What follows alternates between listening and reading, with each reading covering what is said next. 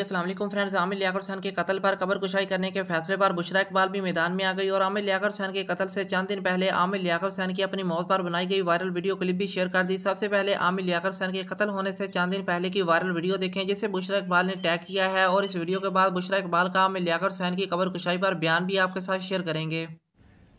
अस्सलाम जब सब ये कहते हैं कि ये ख़त्म हो गया, ये मर गया, तब अल्लाह मुस्कुराता है और फरमाता है लो शुरू हो गया आमिर लियाकत हुसैन की मौत के बाद आज ये वीडियो क्लिप वायरल हो चुका है। ऐसा लगता है आमिर लियाकत हुसैन को अपनी मौत का पहले से इलम हो चुका था। आमिर लियाकत हुसैन की कबर कुशाई पर, आमिर लियाकत हुसैन की तीनों बीवियों में से सबसे ज़्यादा कबर कुशाई पर बुशरा इकबाल का रिएक्शन सामने आया। बुशरा इकबाल ने आमिर लियाकत हुसैन की कबर कुशाई पर पहले जो बयान दिया था, आप देख सकते हैं, लेकिन आज एक बार फिर बुशरा इकबाल, आमिर लियाकत हुसैन की कबर कुशाई पर शरीर गुस्सा दिखाई दी और लिखा आप सब फ़ैन चाहते हैं आमिर लियाकत हुसैन की मौत के इतने दिनों बाद आमिर लियाकत हुसैन का जिसम इस अजियत से गुजरे? इनकी रोह को ये अजियत देकर आप तसली चाहते हैं, मुर्दे की चीरफाड़ और कबर कुशाई की इजाज़त नहीं है। अल्लाह सब कुछ देख रहा है।